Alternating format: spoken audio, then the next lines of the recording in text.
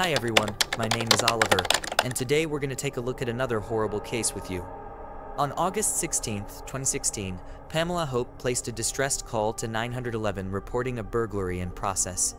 Pam Hupp had been a normal, scared older woman who had barely brushed past a cold-blooded death until the investigation surrounding Louis Gumpenberger's death started. Pam Hupp was born on October 20, 1958, in Delwood, Missouri. She was the second child of the Newman family. Pam married Mark Hupp, and their union was blessed with two children. In 2001, they started living in Fallon, Missouri. Pam tried out a lot of jobs. Pam Hupp worked as a life administrator for State Farm until 2010 when she stopped working. She began to lay disability claims for leg and back pains. Pam had not exactly been a model citizen, as she had been accused of forging signatures on insurance documents twice. But one thing anyone who met Pam would never imagine she was capable of was cold-blooded murder. At around noon on August 16, 2016, Louis Gumpenberger died after he was shot five times by Pam Hupp in her apartment. Louis was a mentally challenged man. He had started battling with mental and physical disabilities after he suffered a car crash in 2005. That day, Pam had called 911 to complain of a robbery. She claimed that Louis had jumped out of a vehicle that was being driven by another driver and attacked her with a knife while she was inside her SUV. Pam, while giving her statement, claimed that she had slapped the knife away from his hand with a karate chop and ran straight into her house to get the Ruger LCR she had kept on her nightstand and shot him five times.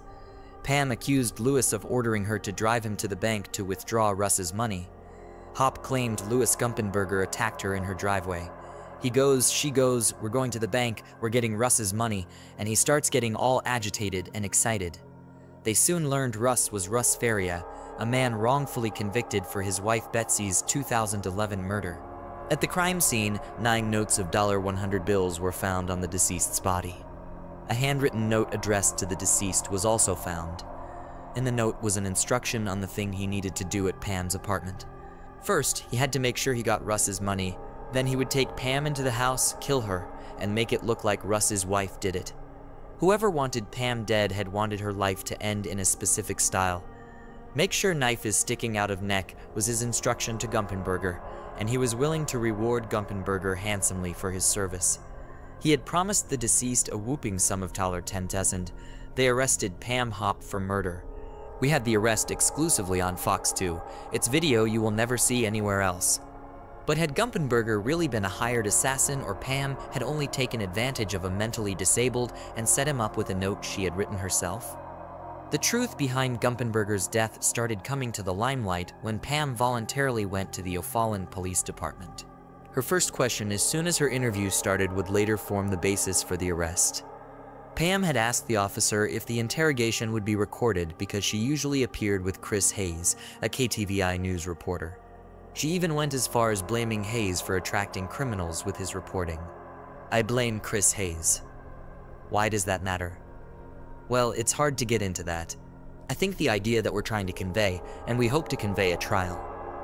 Pam Hupp loved acting as Kathy, a producer of a television show, Dateline NBC. This was, in fact, how she managed to brutally end Lou Gumpenberger's life, according to the fallen chief of police and the prosecuting attorney of St. Charles County. Pam had lured Gumpenberger into her home by posing as Kathy.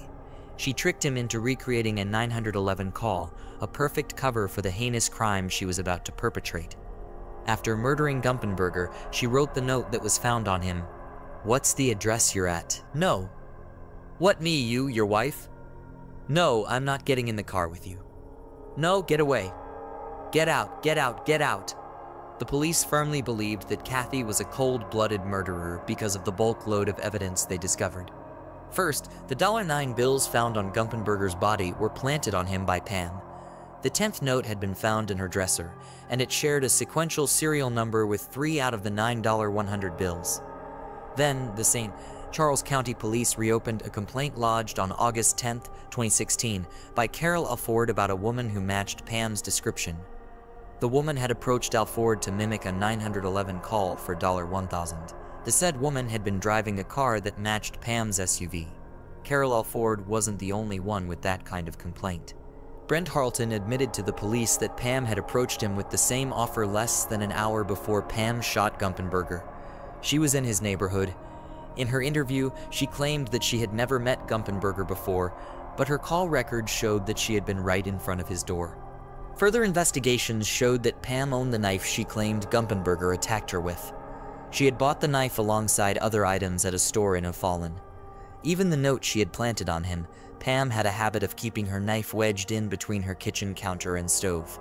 Similarly, the knife found in her car was lodged in between the passenger seat and the central console. While combing her home, the police found a carpet swatch placed to protect her rug from Gumpenberger's blood. Moreover, the police department did not believe that Louis Gumpenberger could commit the crime Pam accused him of, considering his mental state. Pam's guilt.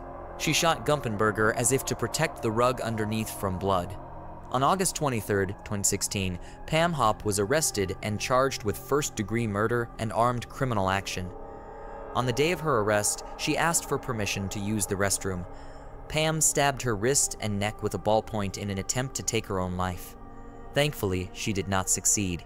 She appeared in court for the first time on January 30th, 2017. Phil Grindway, St. Charles County Assistant Prosecutor, described Pam's action as a consciousness of guilt. Pam faced a grand jury that convicted her of every charge. In December 2016, Pam's bail was set to $2 million. Pam's trial started in 2017. She pleaded not guilty, which made the prosecutor gun for the death penalty. Their reason was Pam's arbitrary choice of Gump, in Berger, a vulnerable adult, to carry out her criminal fantasy. The case turned out to be a classic example of no body murder, a murder trial in which the victim's body has never been found. According to defense attorney Travis Noble, a first degree murder conviction without a body is very rare. In such cases, the prosecution's case is dependent on whether or not the jury believes the defendant is dead. He insisted that the prosecution had a weak case because it lacked motive.